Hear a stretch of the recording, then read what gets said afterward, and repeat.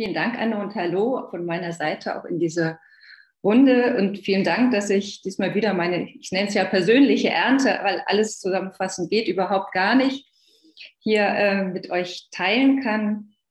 Ähm, ich hatte vier Erntefelder diesmal und habe da eben gleich zu Beginn mit dem Vortrag angefangen zu ernten und bin dann wieder in alle äh, Sessions gehüpft und frei da hin und her gesprungen und habe sozusagen mitgenommen, was ich spannend fand für diese vier Erntefelder. Und ich muss sagen, diesmal ist es dadurch, dass es auch eine Session mehr ist, aber es war wirklich so, dass unglaublich viel Ähnliches parallel diskutiert wurde. Ich wusste manchmal gar nicht mehr, in welcher Gruppe bin ich denn jetzt gerade und warum sitzt denn dieser Bürgermeister nicht gerade da drüben, wo es ja gerade um Kommunikation äh, oder um Kooperation zwischen Verwaltung und Bürgern geht. Also es war ein unglaubliches, eigentlich gemeinsames Paralleldiskutieren in getrennten Räumen. Also das war tatsächlich ein Erlebnis, muss ich sagen, diesmal.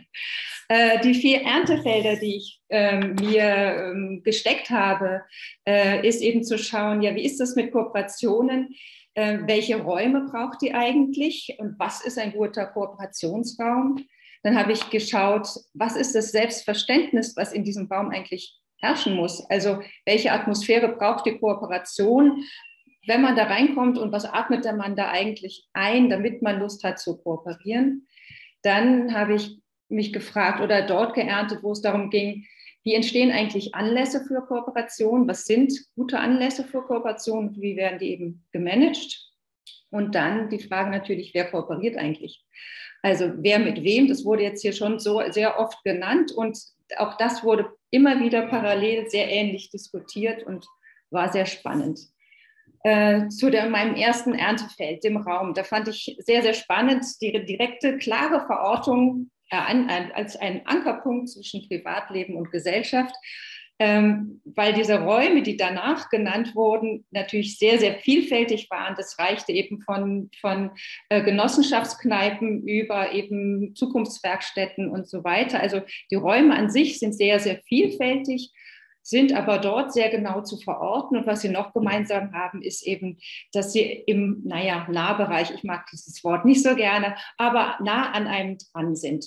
Und Entwicklungsmöglichkeiten bieten und im besten Falle eine gewisse Engagementlandschaft um mich herum bilden, in der ich wirken kann. Und in einer Gruppe wurde sogar dann gesagt, naja, das ganze Dorf sollte als sozialer Ort gesehen werden. Und ich fände es spannend, mal zu überlegen, ob man erforschen kann. Ich bin natürlich jetzt auch Planerin, wie eben so eine Kooperationslandschaft dann in den unterschiedlichen Regionen aussieht und wie die, was die ausmacht. Da geht es nochmal so ein bisschen in die Richtung, was Jan Lindenberg gesagt hat. Also, wie sind eigentlich die Eigenwertigkeiten auch in Bezug auf Kooperationen in den Regionen?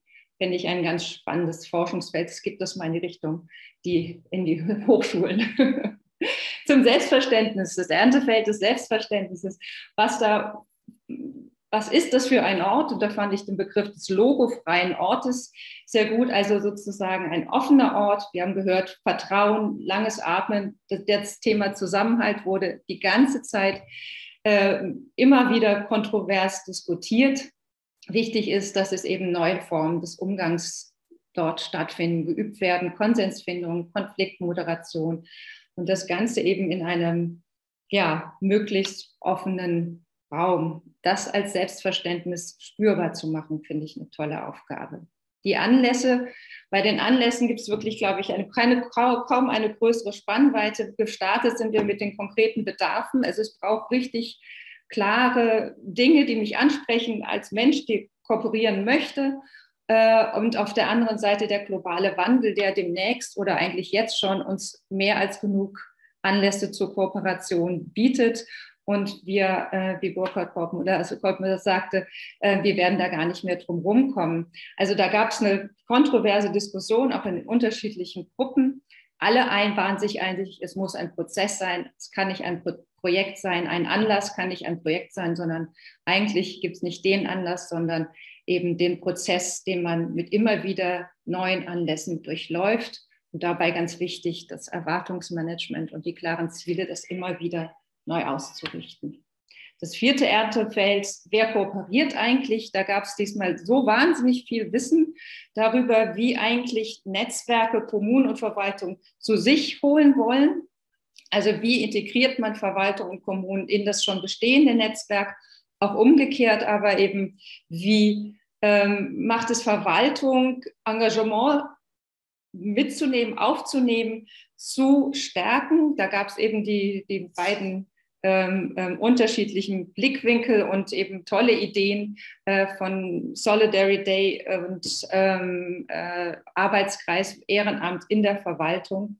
Aber es geht natürlich auch darum, eben ja, Regionen und Hochschulen zu vernetzen und eben diese ganze Unterschiedlichkeit, die dabei entsteht, ähm, auszugleichen oder ähm, da Wege des Vermittelns zu finden, eben durch Transferpersonen. Auch da ist es toll, was es für ähm, Kreativität gibt. Es gibt Bürgerbotschafterinnen, Weitblick-Lotsinnen, Quartierskenner, also immer wieder Personen, die zwischen den einzelnen Gruppen, die miteinander kooperieren sollen, vermitteln und dort auch eben die Kommunikation kennen und auch eine gleiche oder ähnliche Sprache sprechen können, die von den beiden Parteien oder den drei Parteien oder wie auch immer dann zusammenkommen.